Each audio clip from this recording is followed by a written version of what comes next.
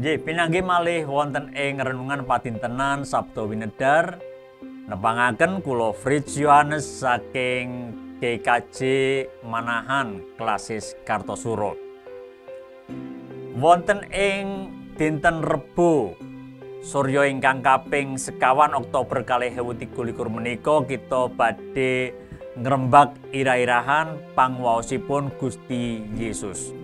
Lan ingkang dados nats inggih menika saking waosan Injil Matius babipun ingkang kaping songo ayatipun ingkang kaping 6 lan pitu ingkang suraosipun nanging supaya kowe padha ngerti yen putraning manungsa duwe pangwasa ngapura dosa ana ing bumi iki. Banjur ngendika marang kang lumpuh, ngadega paturonmu anggaten lan mulya. Wonge iya banjur ngadeg lan mulih. Dados Bapak Ibu para sederek ingkang kinasih kita mangertos pangwaosipun Gusti Yesus Kristus. inggih menika paring pangapuntening dosa. Dosanipun sinten ingkang dipun apunteni dening Gusti Yesus? Inggih menika dosanipun jagat menika. Saben tiyang ingkang nindakaken dosa.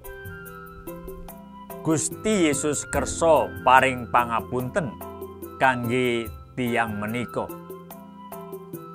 Tentu menika aji sanget aosipun kangge kita tiang ingkang dosa.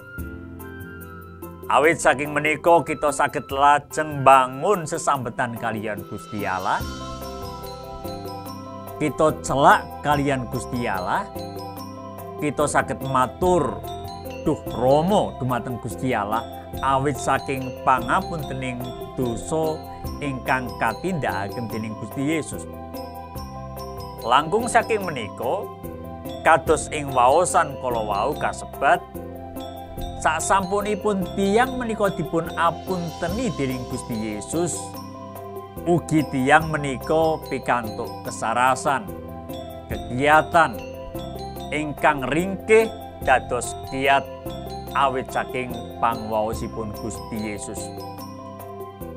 Tentu kita kedah ngaturaken puji panuwun syukur awit kita sampun ngraosaken ngalami piyambak pangwaosipun Gusti Yesus Kristus menika.